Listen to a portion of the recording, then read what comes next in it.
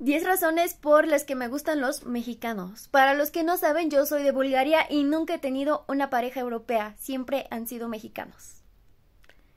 La primera razón es que tienen un gran sentido de humor. No es que allá la gente no tenga, pero es súper común en los mexicanos. Dos, tienen ese color chocolatoso y para los que me conocen saben que soy muy fan del chocolate y todo lo que es chocolatoso me encanta.